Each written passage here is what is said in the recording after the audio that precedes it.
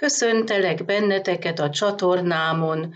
Örülök, hogy kiválasztottátok a videómat. Mit érez irántatok?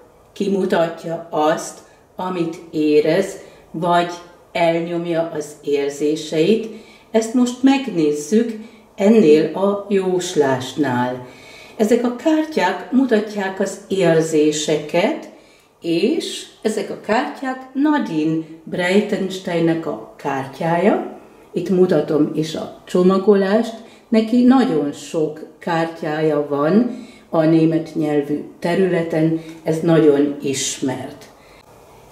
És akkor most nézzük meg az ő érzéseit, és azt is, hogy hogy mutatja ezt ki.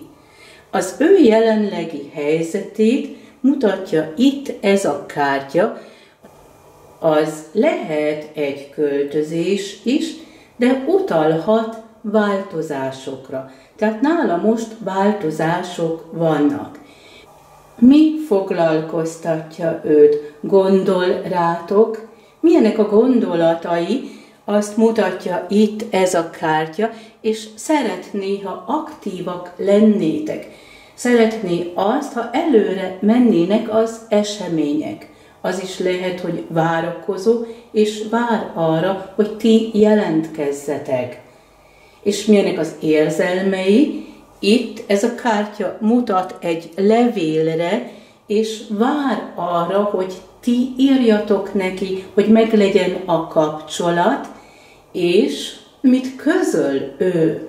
Elmondja azt, hogy mire gondol, és milyenek az érzései? Nem, nem mondja meg. Itt van egy hazugság. Azt nem mondanám, hogy ő hazudozós, viszont nem mutatja ki a gondolatait, és nem mutatja ki az érzéseit. És mi az, amit mondani szeretne, azt mutatja itt ez a kép, ti vagytok az ő szív királynője. Ő szerelmes, ő szeret benneteket, de nem mondja meg. És milyenek a mély érzések, a valódi érzések, ezt mutatja ez a kártya, itt egy ilyen, mondhatnám azt is, egy ilyen mágikus, vonzó erő van köztetek. És hogy viselkedjetek, hogy nézzétek át ezeket a dolgokat, itt mutatja a tavasz, és a tavasz jelez egy új kezdetet, én azt is mondanám, hogy vidámságot, és egy ilyen kellemes tavaszi hangulatot.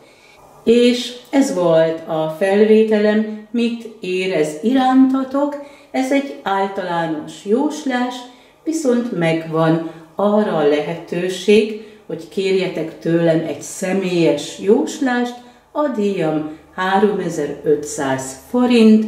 Köszönöm figyelmeteket, viszont hallásra!